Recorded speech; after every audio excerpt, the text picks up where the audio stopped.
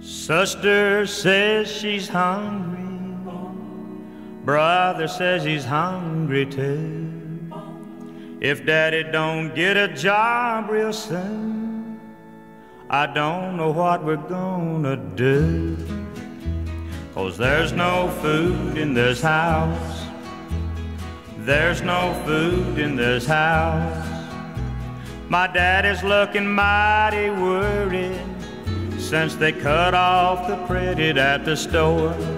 I used to ask Mom, what's for supper? Now I don't ask anymore. Cause there's no food in this house.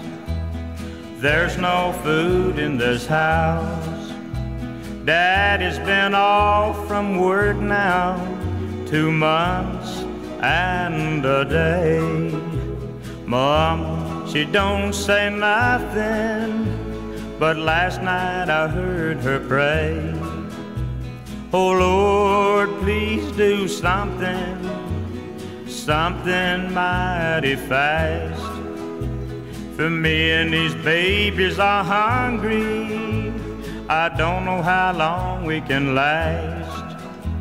Cause there's no food in this house.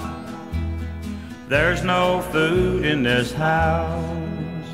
The people from the church came by last night and brought a big basket of food. I guess Mama's prayers were answered. It's strange how the Lord does move. Cause we got food in this house. Now we got food in this house.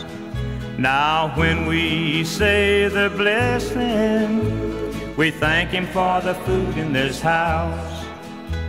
We thank Him for the food in this house.